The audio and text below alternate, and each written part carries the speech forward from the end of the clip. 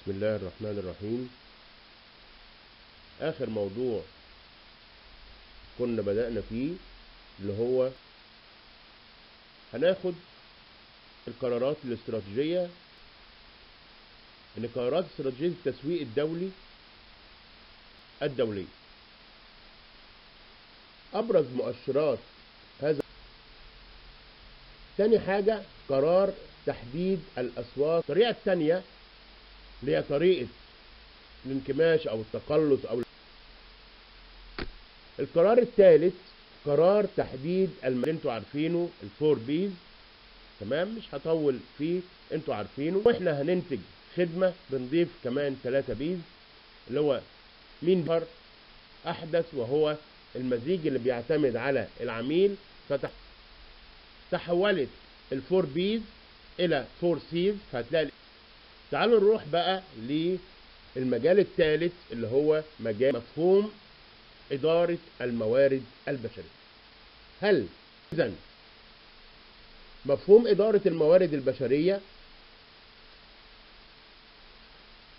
إيه الفرق بين الدور التقليدي والدور الاستراتيجي؟ كأننا بنفرق ما بين إدارة شؤون العاملين وإدارة الموارد. البشرية يبقى القرارات والمهام الأساسية لإدارة الموارد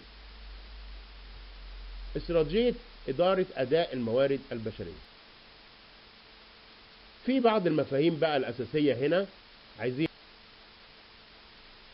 هل في فرق بين معايير الأداء وقياس الأداء؟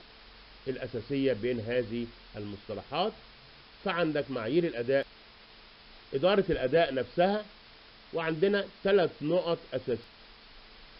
بالنسبة لمحددات الأداء قلنا في محددات خاصة بالفرد. بالنسبة لأساليب التأثير في كفاءة الأداء أول حاجة عندنا هتبقى التعامل مع صفات الفرد. يعني عايزين نعدل في إيه ونعدل في إيه ونعدل في إيه؟ هنعدل القدرات وهنعدل الرغبات وهنعدل التركيبة النفسية وهنعدل التركيبة الاجتماعية. ده اللي إحنا عايزين نعدله.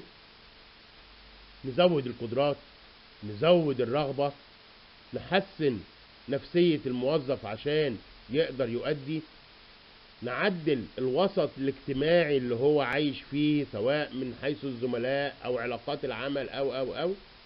إيه الأدوات اللي إحنا نقدر نستخدمها بقى عشان نقدر نعدل الكلام ده ونأثر في كفاءة الأداء؟ تعالوا نشوف. مثلا الحوافز. أو المزايا اللي بنديها أو المغريات اللي بنديها للموظف. دي هتؤثر في حاجتين. هتعدل في الرغبات وتحسن رغبة الموظف وكمان هتعدل في تركيبته النفسية. تعالوا نشوف أداة تانية. ده كل ده على سبيل المثال. إن إحنا نختار الموظف كويس وننتقيه طبقا لمعايير معينة ندربه نكسبه مهارات معينة كل ده هيؤثر في إيه؟ في تعديل القدرات بتاعته وتحسين وتنمية هذه القدرات. تعالوا نشوف أداة تانية. الخدمات أو المزايا اللي إحنا بنأديها لل طب تعالوا نشوف إزاي هنتعامل مع بيئة العمل أو المنظمة. عايزين نعدل إيه؟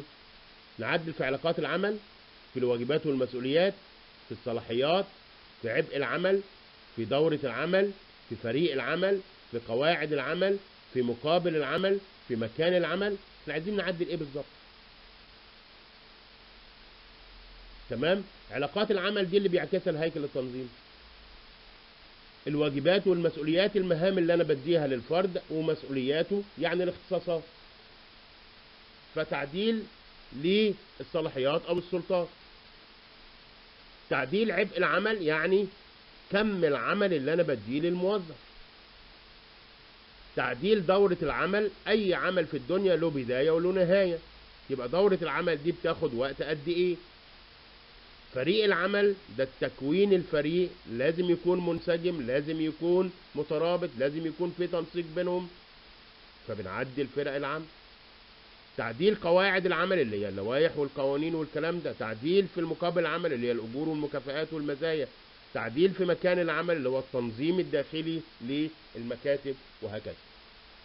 طب إيه بقى الأدوات اللي أنا أقدر أستخدمها عشان أعمل كل هذه التعديلات؟ تعالوا نشوف على برضك سبيل المثال. إعادة التنظيم هيؤثر في تعديل علاقات العمل. إعادة توظيف الوظائف هيؤثر في إدارة الأداء زي ما قلنا كلمة إدارة الأداء بتشتغل بمعنى إن إدارة الأداء هي أداة تخطيطية. تعالوا نشوف بقى التعارض اللي ممكن يحصل ما بين أهداف المنظمة وأهداف